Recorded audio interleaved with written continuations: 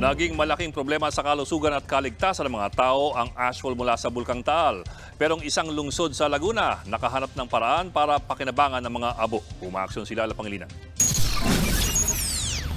Tambak na mga sako ang dinatna namin sa tapat ng Materials Recovery Facility ng Binyan, Laguna. Laman nito ang mga abo na ibinuhos ng Bulkang Taal sa syudad ng Mag-Alboroto ito noong nakaraang linggo.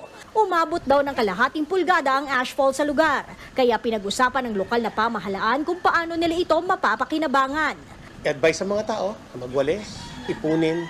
Eh nakita namin, para naman siyang buhangin. Hindi naman talaga siya abo na talagang in its real sense na pag ginanon mo ay nawawala ang abo. Ganun kasi, di ba? So ito parang buhangin.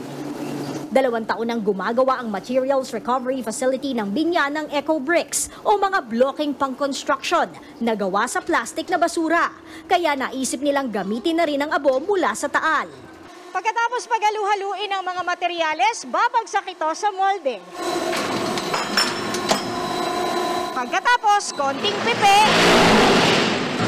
ipepress, kakayasin ng konti, at ayan, Eco Bricks na gawa sa plastic, ashfall at simento.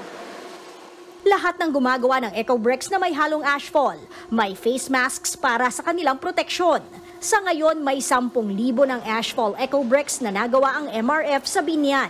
Tetestingin daw muna nila ito sa kanilang mga sidewalk at eskwelahan. May ilang LGU na rin na nakipag-ugnayan sa Binyan para magpaturo ng paggawa ng ashfall Eco Bricks. Plano rin nilang gamitin ito para makatulong sa mga Batanggenyo na pinakaapektado ng pag-aalboroto ng bulkan. Bebenta namin siya, pero lahat ng proceeds, ibibigay pa rin namin sa mga nasalanta ng taal.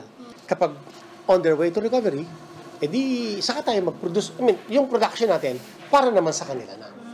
Sila na mismo ang gagamit.